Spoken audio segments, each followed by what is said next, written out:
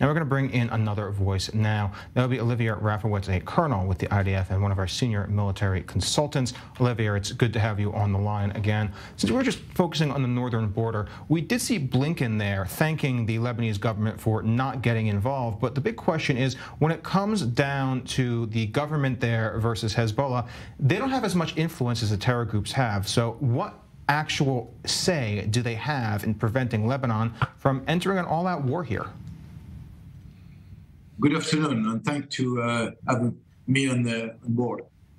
Hezbollah is very strong. It's a very strong, very uh, major terrorist organization, uh, even uh, stronger than the Lebanese government, depending on Iran. And uh, what we are facing now, it's an escalation of violence along the border, without really seeing uh, further escalation that we have every day uh, shooting and uh, bombing and uh, attempts of infiltration. So what we can understand that the government of, of Lebanon, of Beirut, maybe prefers not to have any uh, problem in the south, but we see that he is not capable to stop Hezbollah uh, terrorist organization do so. So we have seen an increase in the intensity, if not the actual frequency, of attacks coming from over the border. And everyone's still wondering whether or not Hezbollah will be committing to this fight. On Friday, Hassan Nasrallah gave his his much expected speech, but he didn't really say much of anything to commit in either direction. Is there any sort of idea from inside the military of what his actual thoughts might be? Of course, I'm not going to comment in any way the speech of uh, Nasrallah, the uh, chief of the uh, terrorist organization. But what we are facing every day, gunning and uh, bombing and attacks, attempts, uh, and we have to react, shows that uh, we cannot rely on any speech, on any allocution. We have to deal with concrete ev- events like bombing and attacks. So here we are facing them like today and we are trying to prevent escalation. And the Israeli army, I would say, is uh, ready to do whatever it will be asked to do in case of uh, development along this very sensitive border. Olivier, I want to now look at the southern border, at the fighting going on in Gaza. It's been a week since ground operations began in earnest. I want to discuss what's been accomplished in that time, what's left to accomplish, and really what the time in between those is going to look like. The ground operation uh, started, like I said, a week ago with very uh, important forces. Right now, the Israeli army, Tzahal, is uh, um, around the uh, uh, Gaza City area in the northern part of Gaza City. We have achieved very, very important achievements around 300,000 targets of Hamas have been hit by the Israeli army.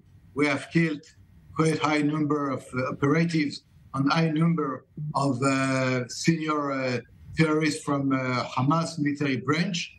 And right now we are continuing the operation. Would like to say and to emphasize that the Israeli army has no intention and no mission to hit or to involve civilian during the operations against Hamas.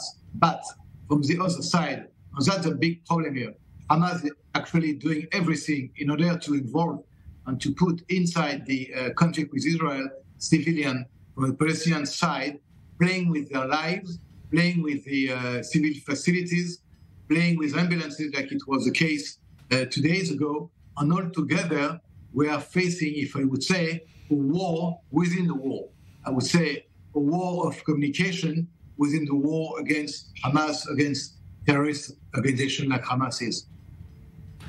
Olivier, one of the things you mentioned there is Hamas's use of human shields in this conflict. We've seen more and more evidence every single day showing just how extensive this use is.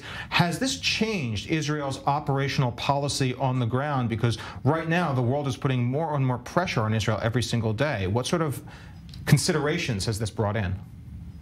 For example, a few minutes ago, the IDF uh, released information concerning uh, um, missiles fired from a pool uh, for use for kids in, in Gaza or like a kindergarten. Like, okay, you see now the pictures uh, of what we have found uh, today uh, in Gaza. So they are using everything in order to, to involve uh, to involve a civilian. But the, the world, the public opinion, is not really convinced, and uh, we have to convince them to show them. And even when we show them, they don't want to believe it. So it's a real war of influence, of information, of, of, of trying to convince them. But I would say, uh, I would like to say something.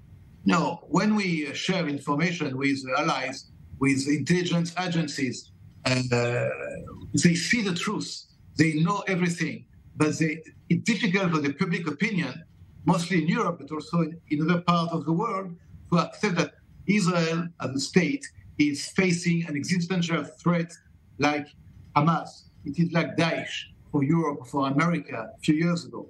And if we don't uh, destroy Hamas, it will be a threat not only for Israel, but for all the area, maybe for all the world. So there is a kind of, of hypocrisy, hypocrisy mean like we, we show that we are doing something for the world. We are trying the best in order to prevent civilians to be uh, involved in the conflict. That the public opinion in the world refuse to see the truth. It's a war within the war. We have to win the war against Hamas, and hope that we also will win the war of information to make world understand that we are doing what we have to do with the most ethical and most moral way to do it.